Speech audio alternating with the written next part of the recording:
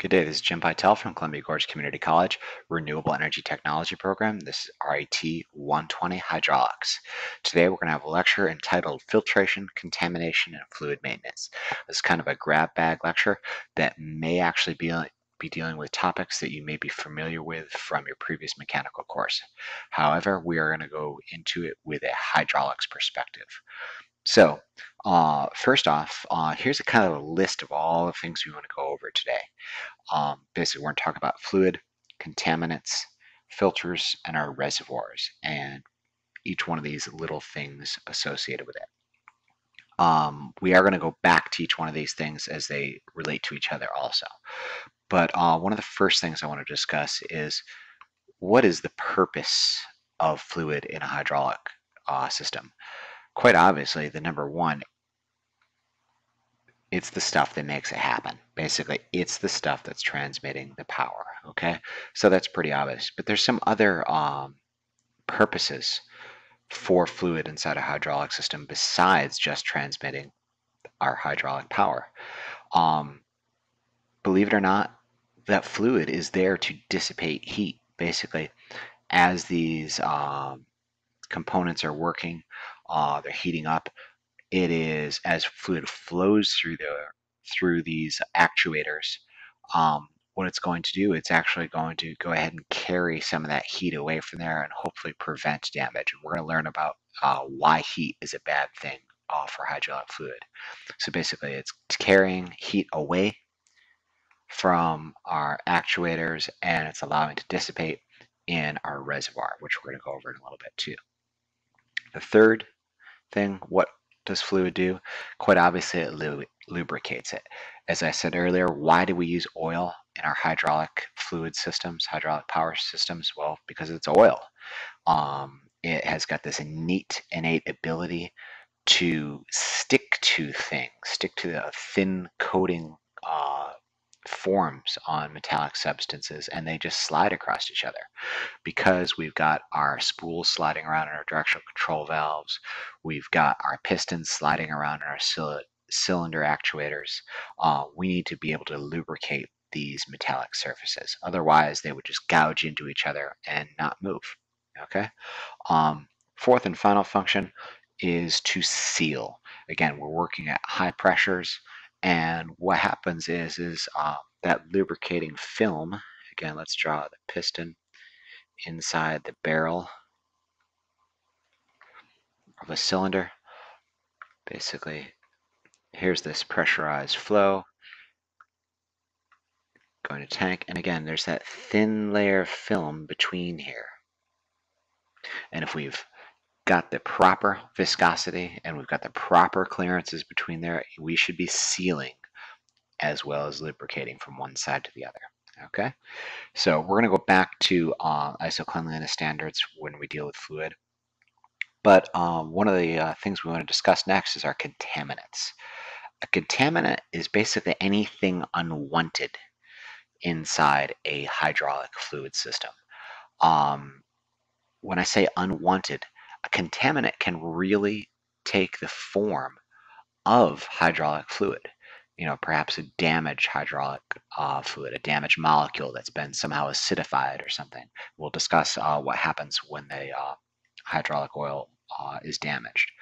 So a contaminant is again something unwanted within a system, and that could be dust, sawdust, uh, metal shavings, lizards. True story, lizards um, insects, rodents, anything, something that we do not want in a system. And again, why don't we want it in a system? Well, think about our spools that are sliding back and forth inside our directional control valves. We're depending upon this sealing between here and here on that side. Again, it's requiring that thin layer of lubricating and sealing film there. So uh, what would happen if some contaminants, let's zoom in on the zone here, entered that space? Well, let's say if it's a large particle, it could theoretically jam in place and our spool would not be able to slide back and forth, which is a problem. Um, Now let's add a different problem. Let's add small particles that can fit back in that space. And you might think that that's not a problem. Well, truth be told, it is a problem because what are those little particles acting at in high pressure? Well, they're acting like a sand blaster and gouging out that section there. That's called abrasion. So braiding the, uh, the clearances there, and you could potentially develop leaks through here. Okay. Um, the uh, where do these contaminants come from? Well, basically they come from daily operation of the system. Uh, just like you could go ahead and live the healthiest lifestyle you possibly could live, drinking just spring water and organic microgreens, you're still going to die in the end. Okay, and a hydraulic system, as clean as you try to keep it, and you're running it at the proper um, proper recommended flow rates and pressure, just by you operating that thing is going to generate contaminants. Where do they come from? Well, it could be, you know, possibly these seals that are degrading. You know, these uh, these rubberized, plasticized seals uh, have a potential to degrade over time and usage. So again, they're especially in those dynamic seals, they're braiding on the sides of the uh, the pistons and the barrels. Okay, um, what about heat? Again, too, that's one thing too. Is is what about that heat? You know, oil as it heats up. You know, I'm just going to do a uh, simple, without going too crazy into chemistry. Here's a triglyceride uh, with a kind of a glycerin backbone, and these are our three fatty acids that are hanging off this glycerin background. One of those things that happens with this, um, this is actually more of a biodiesel uh, reaction. But um, you could potentially split those things right there.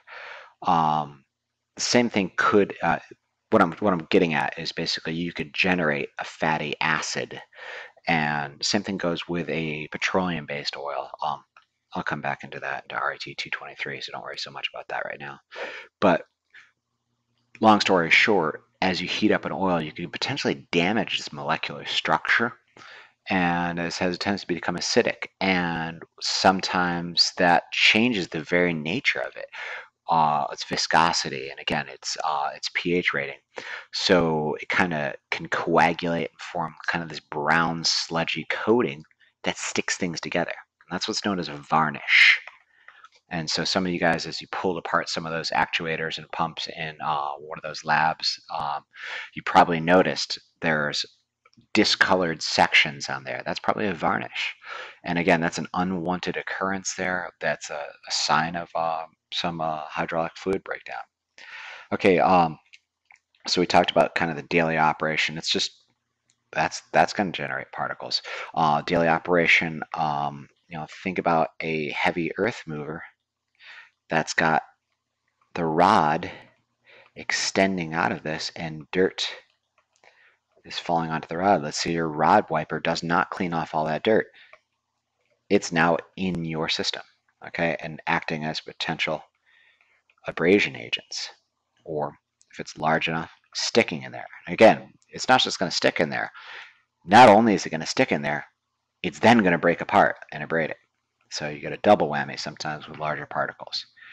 Okay, so um, be aware that new components too as new out of the box as they are, they may introduce contaminants, especially, especially, especially the new manifolds. Think about that. It's drilled aluminum and those metal shavings are inside there. So clean those things out. Uh, so new components there. Sometimes they're shipped from the manufacturer with a light coating of machine oil. Um, how long has that light coating of machine oil been there? I don't know, but it could have been had dust settled on it how long has it been in your shop for a while. So it's a good idea to, when you get a new component, clean it off before you install it. Um, so we already talked about uh, breakdown, uh, break in versus breakdown, break in versus breakdown. So you go ahead and purchase a brand new car and right out of the lot, you don't just go 90 miles an hour with it for 90 days. So there is a break in period where the ever so slight tolerance uh, need to be adjusted for. Um, you know, you're going to go ahead and run your system a little bit more sparingly. And additionally, you're probably going to take that system down for maintenance far earlier than you would normally. Okay, an example again is probably our wind turbines. Let's say you go ahead and purchase a wind turbine on day zero. Uh, day zero, you go ahead and get it running. And at day 10, you take it down for a monthly maintenance, maybe even a, you know, some, basically what I'm trying to say is, is a maintenance far in excess of its normal operation of 10 days because those first 10 days are critical days for it to operate. So you go ahead and make sure, hey, was this thing put together correctly, number one. And number two, that might be the, the first 10 days might be the most heavy generation of metal, metal particles, say for example in your gearbox or anything, because of the manufacturer's tolerances are being worn down at that point. Okay, so the break-in period is an especially dirty period of time and you need to go ahead and take that thing down for maintenance far sooner than you would normally. So you go ahead and do your 10 day maintenance, then you do weekly maintenance every week. Then you do a monthly maintenance after a month, and then you do your quarterly maintenance. So what I'm saying is break in comes in early, uh, break in maintenance. Okay, um, I already kind of went into the heat exchanger. So uh, this is going back to our fluid breakdown because of heat. So again, our heat exchanger, I've already went into the schematics. Fluid's coming in, heat is being pulled out of it. That is a cooler. Let's say this is a liquid means of cooling, okay, versus an air means of cooling, okay? So an, you know which manufacturer I'm talking about that does this. You know, that's that's for their gearbox too, by the way. Actually, one manufacturer does use their cooler hydraulic fluid this way. Um, as the wind blows through, it's cooling off. That right there, that unit on the back there, that is an air medium cooler. Okay. Um, think about the old Volkswagen uh, Bugs. Um, they're an air-cooled engine. They don't exactly work the best, the most efficiently on a hot day. So again, air-cooled heat exchangers have a tendency to work better when there's a large temperature, excuse me, temperature differential between the fluid and the air. Okay. One last thing about the heat exchanger I need to say is, example is our tube and shell heat exchanger. Hot fluid comes in, ideally cold fluid should come out. How is, let's say our liquid cools, again, we are going opposite directions, opposite directions. Because again, at this point right there, warm fluid is still warmer than this fluid coming in. Excuse me, let's, let's put it this way. Okay, hot fluid, hot hydraulic fluid is still warmer than the warm cooling fluid going out so there can exist an exchange of heat the whole length of the heat exchanger. Do not run them so they are running together in the same direction. Okay. Um, please revisit the uh, the lecture where I go over the heat exchanger if you need to go into that in details. But again, they run in opposite directions. Okay, um, let's go ahead and uh, so we talked about uh, generally what contaminants are and what they do and where they come from. But let's just talk about sizing too. So regardless of what they are, whether they're a piece of bug's wing or uh, sawdust, they are sized according to a micron. So a micron, luckily enough, you guys are wizards at this by now. That's a micrometer, okay? So let's put this in perspective. One inch. Oops. So one inch is equal to 2.54 centimeters. That's not an SI unit. 25.44 millimeters is. So now let's do our next step down according to uh, the SI system. 25440 micrometers. So this is an idea of how small a micron is. One inch is 25,440 microns or micrometers as the case may be. This is kind of a short slang version of it. Okay, so if that means one inch is 25,440 microns, you realize a micron is way small.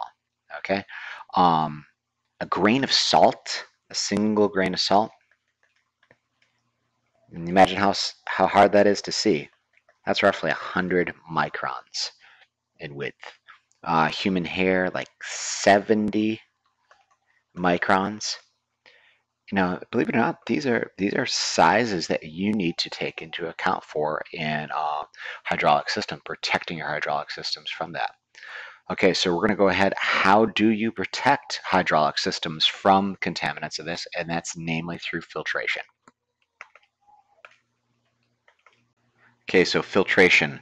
Um, went ahead, cleaned up our little workspace here, and we're just going to talk about filters. So filters should be a relatively familiar topic for everyone.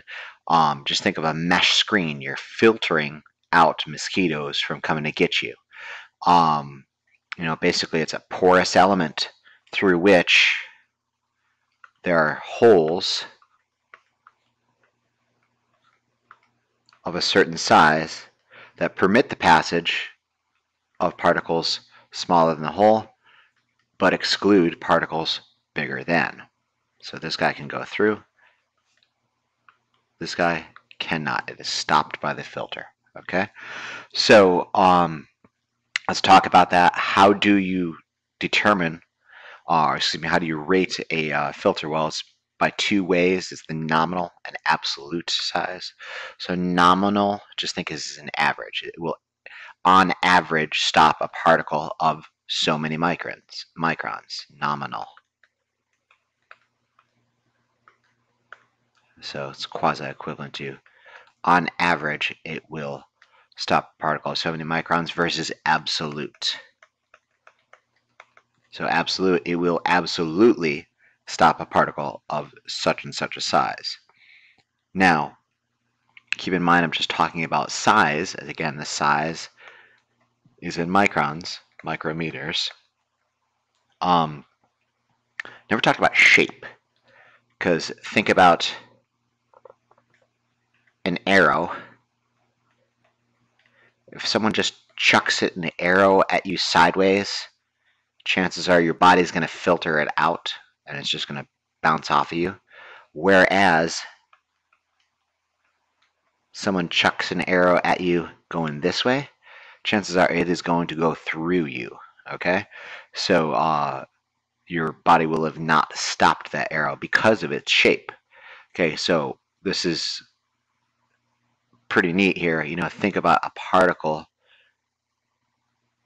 like a hair or something like that. Um, you know, it's got a small cross section this direction, but pretty long this way. It depends on how it hits the filter. Okay, so what the absolute is rated as is the spherical particle. Spherical particle, hard spherical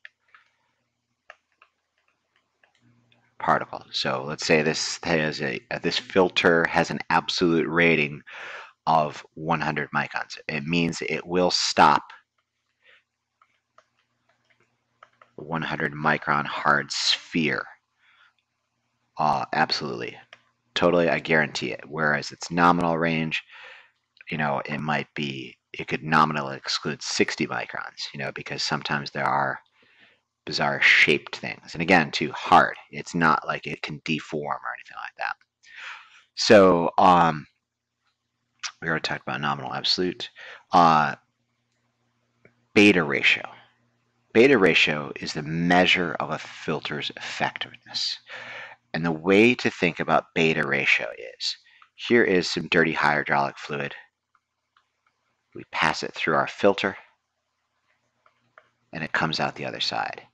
What you do, you shrink a dude really tiny, and he counts all the particles. in here. And that dude goes over to the other th thing and counts all the particles in there. And the ratio between bad and good, you know, that's the beta ratio. Okay? So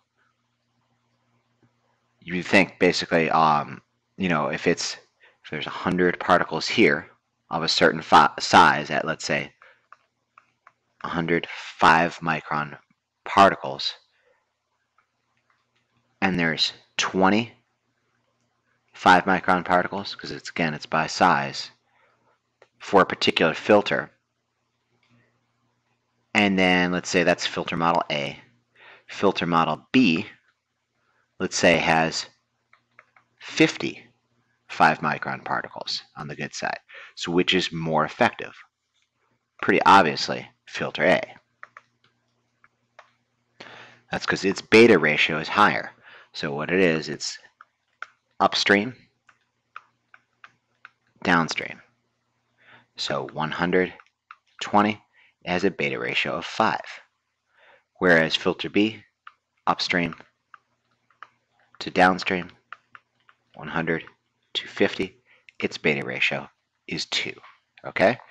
So it's just a measure of a filter's effectiveness. Let's say you've got some dirty fluid.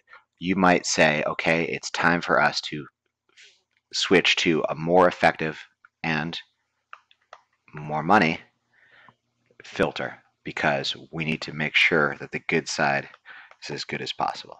Okay, and it's it really is not a dude that you shrink down. Don't don't even apply for that job.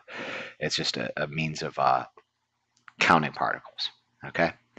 Um, so let's talk about our, our uh, filters here. Uh, you got bad fluid here. Why not just start with better fluid? So that's we're going to come back to uh, the better fluid when we talk about our ISO numbers here. Okay. Um, and you want to talk about money upgrading to a higher ISO standard of cleanliness for uh, hydraulic fluid to begin with. That's some money. We'll, we'll come back and talk about that. Um, let's clean the screen up here real quick. Okay, so where do we put our filters? So we may have seen a schematic symbol like this before, where this is coming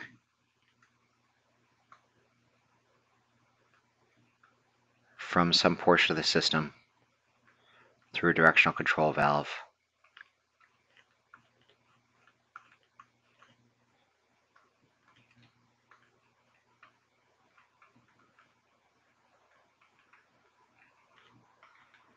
From our pump,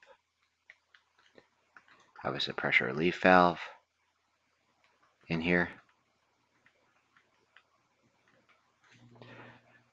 This is a symbol that we're pretty used to. What is this line right here? Well, that's our T line, our return line.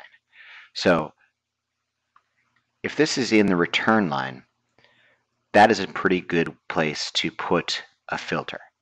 And obviously, it's known as a return line filter. Reason why is basically fluid is coming from our tank, being forced through our hydraulic system, and it's doing its work and coming back to our tank and being filtered. What's neat about that is basically it's cleaning itself up. Excuse me, the filter is cleaning up the fluid to be pumped back again. Okay, so you're starting off with clean fluid. It goes through our dirty system here, it cleans it out and sends it back. Because what's neat about these schematic symbols here, I know I just drew three tanks in there, one, two, three. They're all the same tank. Basically, that tank's whole job, the whole reservoir, whole job is to clean and condition the fluid. We're, we're going to go into uh, how a reservoir cleans and conditions fluid. But the first way is, is basically filtration. You go ahead and put a filter on that return line, and all fluid that goes through your hydraulic system is going to be filtered. And the pump is just going to pick it up and send it, pick up clean fluid and send it back through the system. So that's a really neat way of doing that. And uh, someone may ask, well, why don't we just start with clean fluid to begin with? Well, the deal is, is basically a return line filter. It's not operating at any special pressure requirements. If you really do want to go ahead and protect your pump, there is something called a suction line filter. And a suction line filter is like that. You just put that return line filter and you place that in the inlet of the pump. Why is it different? Well, because that is a vacuum right there. Because how is it going to remember? Just go back and revisit the uh, the pump lectures there. Basically, by creating an expanding space, there's a low pressure requirement, and fluid is drawn into the chamber of a pump. So that pump is operating at a vacuum condition. So you may have to get a special type of suction filtration filter. Okay, so that's the fourth type of uh, filtration, fourth, excuse me, fourth type of location. And additionally, there's another type of location and type of filtration, and that is what's known as a pressure filtration. So basically, excuse me, a pressure or an inline filtration. So let's say this is a super valuable cylinder with incredibly high tolerances. Excuse me, incredibly low tolerances. It requires very small spaces, and you have to make sure that, let's say you borrow this thing. You're, uh, you're borrowing it from your buddy. You want to make sure you don't break it. So what you're going to do is you can actually put a pressure filter here or pressure filter here, assuming this is coming from the pump. Now, the question is obviously is which one's a pressure filter? Well, they're both pressure filters, but there are special requirements for these two particular filters. Again, pressure filters operating at pressure. Let's say our pressure relief valve is set to 600 psi there's 600 psi there. You're not going to take a return line filter that operates at low pressure and just stick it in there and hope that things are good. Um, let's consider the two locations. And again, if let's say if we're in the straight through position, this is also 600 psi right here.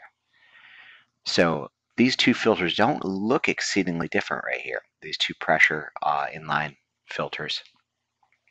But think about the flow direction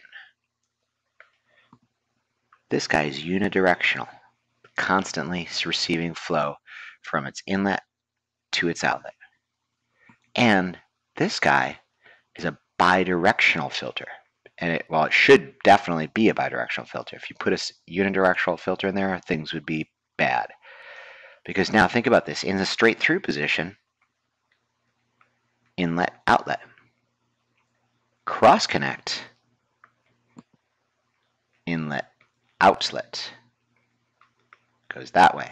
Okay, so you may need a bidirectional filter. So be aware that there is a unidirectional and a bidirectional pressure filter. So now think of a unidirectional filter. Here is our filter, and here's dirty fluid coming in, and all these particles are sticking to the outside because they can't pass through these tiny porous structures. And what's coming out is this very clean hydraulic fluid. Okay? Now you go ahead and switch the direction, the flow direction. Bad things happen. Pressurized flow enters here and pushes these particles that have been trapped and taken out of circulation back into the fluid. So don't do it use a bidirectional filter if you are putting it on the other side of the directional control valve. Okay? So there is a fourth type of pressure, uh, excuse me, fourth type of filtration that you may not have seen before that's becoming uh, increasingly popular with some of these hydraulic systems. It's known as a kidney loop filtration. So you may see something off to the side on the schematics. Little pump, little filter, back to the tank. And you might have all this gobbledygook out here for your hydraulic system with all sorts of valves and cylinders and actuators and directional control valves. What is this isolated little thing? Well, that's a kidney or offline, kidney loop or offline. And just think, what is the purpose of the kidneys in your bodies? Is basically to filter your bloodstream. Um, that's what this guy's doing here.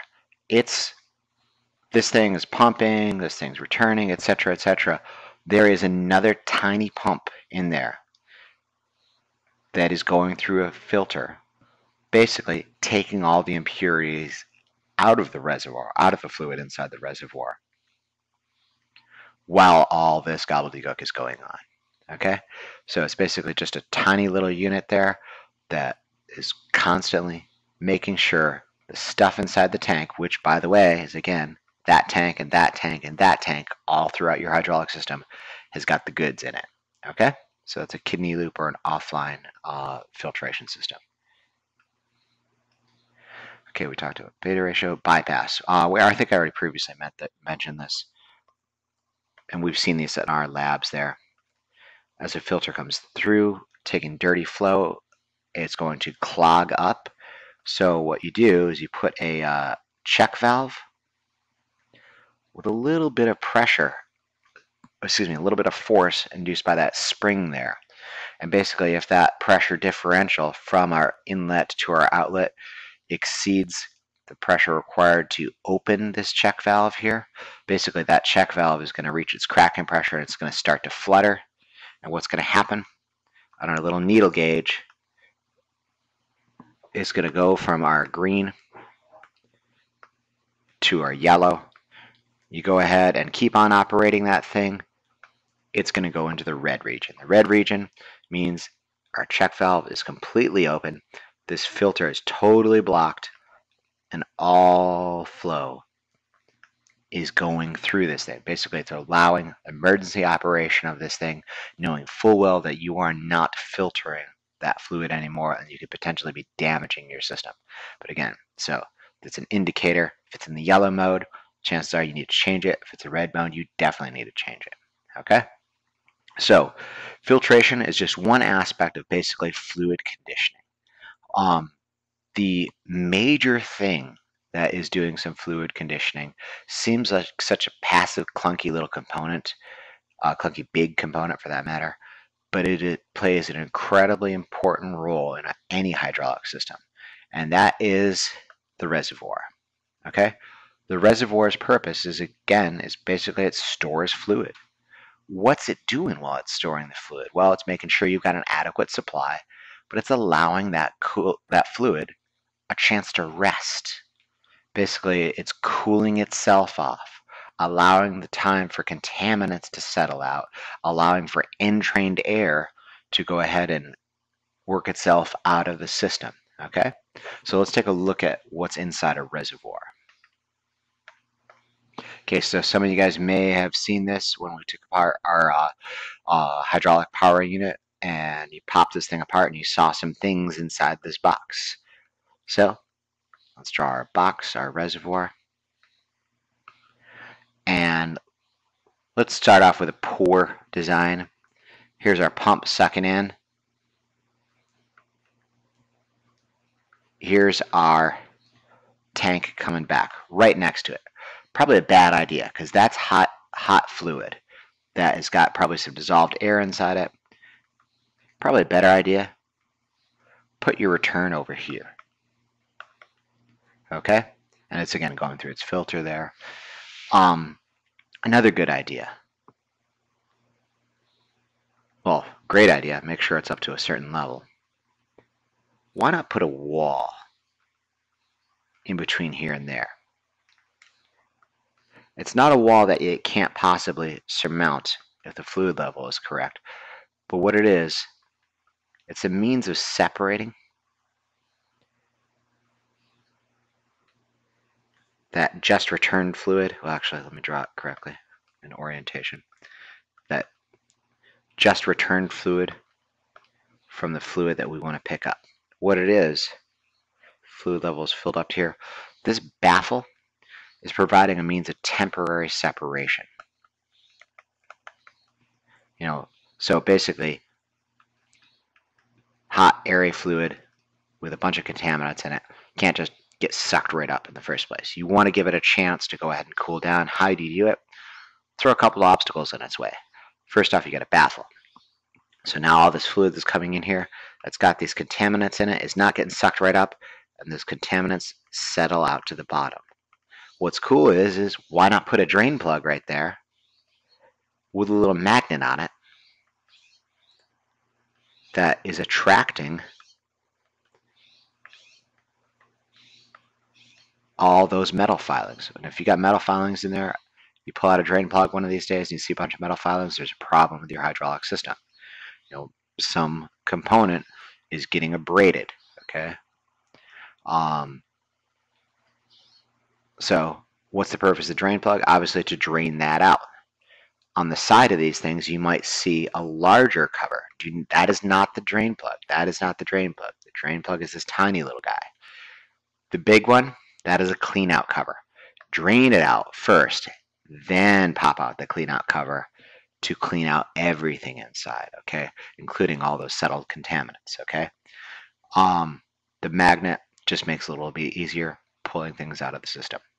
So we talked about our baffle, we talked about our cleanout cover, we talked about a drain plug. How do we know what the correct level is? Chances are it's got a sight gauge on it to see what the level is. Additionally, you might have a model with a little thermometer built into it showing you the temperature of your return fluid inside the reservoir. So there's this thing here is a breather. This schematic symbol means it is an atmospheric reservoir, i.e. atmospheric pressure is coming on to this fluid and that, because there is a little bit of a vacuum here, is what's forcing the fluid into the pump.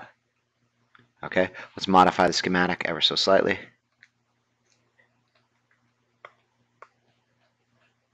That's a pressurized reservoir. Okay, so meaning that there is pressure inside there that is forcing fluid into our pump.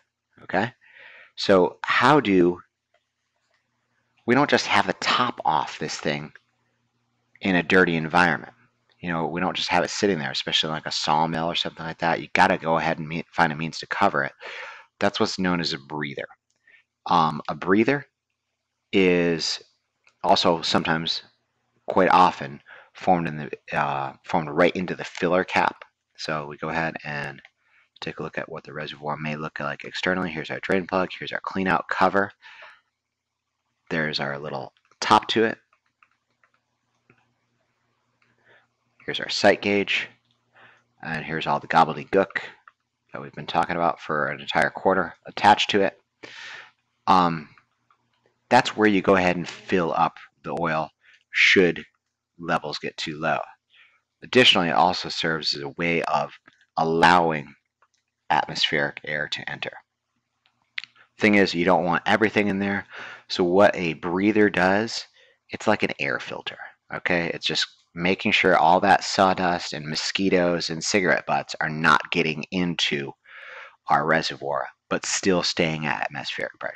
Okay, so the other thing is you notice you go ahead and screw this thing, unscrew this thing off right here.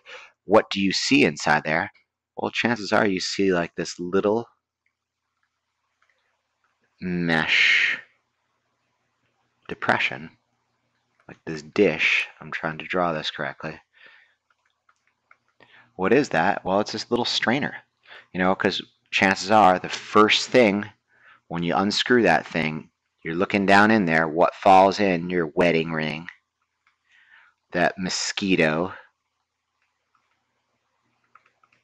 go right into the reservoir. All that sawdust that's been piling up on top of this thing, you pull that breather filler cap off to fill it up, and all this stuff gets immediately attracted into there.